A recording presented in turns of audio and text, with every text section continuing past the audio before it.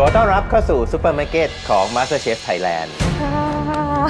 ขอบคุคุณไม่ ชอบทำปลาร้าไม่ชอบชิมปลาร้าค่ะ เปลี่ยนใจได้ยังครับ รักเลยค่ะ และโจทย์ในรอบบททดสอบความคิดสร้างสรรค์ หรือ Invention Test ในวันนี้ก็คือ ของหวาน ของหวานอย่างแรก ค่ะ นั่นก็คือ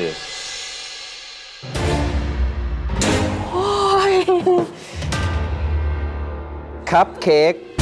ยากคัพเค้กที่ดี เนื้อแป้งต้องนุ่ม ไม่แน่นและไม่แห้งจนเกินไป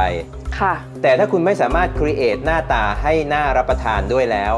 คัพเค้กของคุณก็จะกลายเป็นแค่เศษขนมปังธรรมดาธรรมดานั่นเอง ค่ะ ขนมหวานอย่างที่สองนั่นก็คือ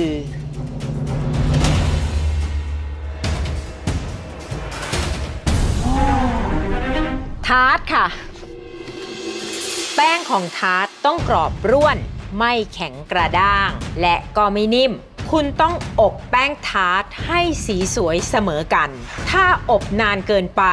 ขอบจะมีสีเข้มเกินกว่าส่วนอื่น ถึงแม้มันจะทานได้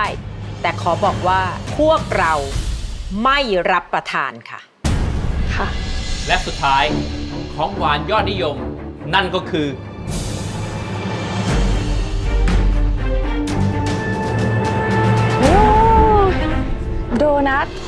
โดนัท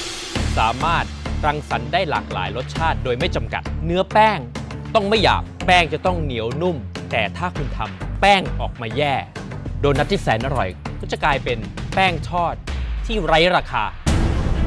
เมี่ยงคือผู้ชนะในรอบกล่องปริศนา ฉะนั้นเมี่ยงจึงมีสิทธิพิเศษ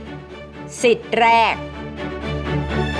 เมี่ยงไม่ต้องทำขนมเหล่านี้ yes เมี่ยงผ่านเข้ารอบไปเลยค่ะ ขอบคุณค่ะ อันนี้แหละชอบที่สุดเลย เมี่ยงยังมีสิทธิ์อีกอย่างหนึ่ง เมี่ยงมีสิทธิ์เลือกขนมหนึ่งใน3อย่างนี้ ให้กับเพื่อนอีก 18 คน ค่ะ แต่จะถามก่อนอืมใครเป็นคู่แข่ง เมี่ยงไม่มองว่าใครเป็นคู่แข่งที่น่ากลัว แต่มีคนคนหนึ่งที่น่าลำคาญมากกว่า เขาบอกคนอื่นว่าเขาเก่ง เขาเก่งเหนือใคร และเขาไม่มีจุดอ่อนอ่าแล้วถ้าเขาออกไปได้ก็ดีเหมือนกัน เพราะมันน่าลำคาญอืมค่ะ ใครคะ กระปอมค่ะ กระป้อมอืมเขามั่นใจในตัวเองมาก และเขาเป็นคนที่เมี่ยงอยากจะกำจัด เอาล่ะ นี่คือโอกาสเดียวที่จะคุมเกมการแข่งขัน เมี่ยงจะเลือกอะไรคะ เมี่ยงจะเลือก